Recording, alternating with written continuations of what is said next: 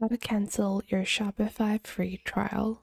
Hey guys, welcome back. In this video, I'll be showing you guys how you can get started with canceling your free trial if you're no longer looking to use Shopify.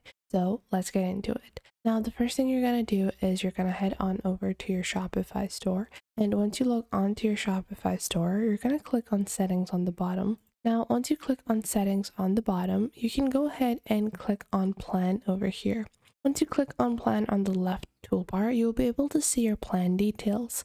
So to be able to cancel our trial, you guys will be able to see you're going to be on the trial and you're going to see your billing cycle, your payment method, and if you want to cancel your trial on Shopify, you can either choose to upgrade or deactivate your trial.